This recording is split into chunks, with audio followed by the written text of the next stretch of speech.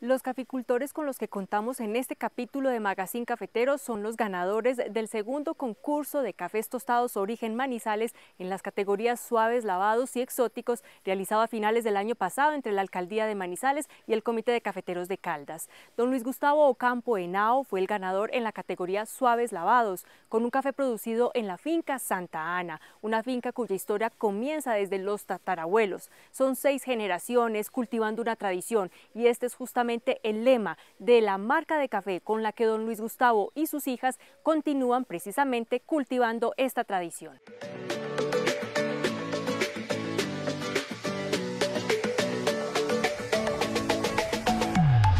La historia mía del café empezó desde que nací. Yo tuve un abuelo que toda la vida en vacaciones del colegio me llevaba para la finca. Desde los tres o cuatro años he estado siempre con él mirando el café, aprendí a manejar el café, cómo se siembra, cómo se cultiva. Y después de que terminé los estudios, mi padre me hizo una propuesta que si, que me iba a trabajar con él y mi mamá. O iba a trabajar independiente de lo que estudié y yo terminé en la finca.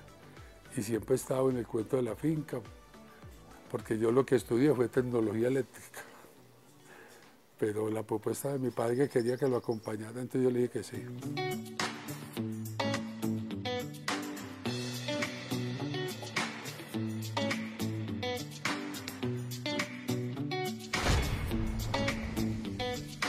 Me llamo Luis Gustavo Campo y esta es mi historia.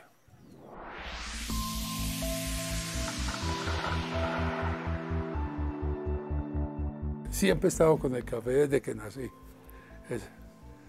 Porque yo vivía, yo, ellos tenían la finca en Dos Quebradas y yo estudiaba la tecnológica en Pereira, entonces me quedaba viable las dos cosas. Mi abuelo Valerio y mi abuelita Cruzana vivían en Santa Rosa y les dio que querían venir a vivir a Manizales. Creo que en el año 49, 50, no lo tengo muy claro. Y se vinieron para acá y lo primero que hicieron fue a buscar una finca que estuviera cerquita a Manizales de café. Y fue esta finca que compraron. En el año 90 la crisis del café ya nos obligó a que teníamos que buscar otro ingreso porque el café no daba. Y fue cuando empezamos a meter cada 10 surcos de café un surco de banano, que es lo que lo volvimos nosotros la caja, que es lo que vendíamos cada semana para poder tener plata porque el café ya estaba con problemitas.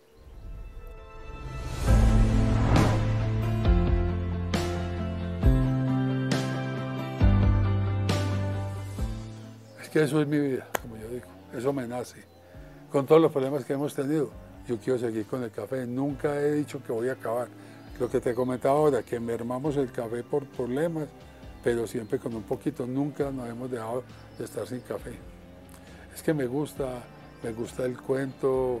Hemos estado en momentos que uno dice, no más, tiremos la toalla. Pero uno se pone a ver, eso es lo que le gusta a uno. Todos los días hay una cosa distinta y mira ya en lo que vamos, que ya logramos sacar nuestra propia marca. Hemos concursado tres veces, dos veces ganamos, una acabamos de terceros. El café ha gustado en todas partes, entonces nosotros estamos contentos.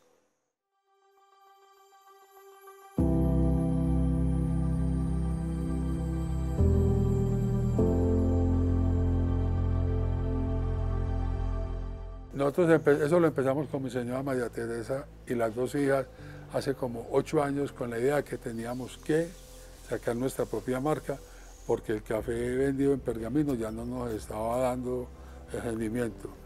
Y empezamos el proceso a averiguar, mandamos a maquilar, tuvimos que regalar mucho café para que la gente supiera cómo eso. Y hace cinco años ya con mi hija Valentina tomamos la decisión, el nombre de la marca, que eso lo puso ella, y empezamos a tomar los, pues, los pasos que hay que dar para eso. Y nos ha ido hasta ahora muy bien.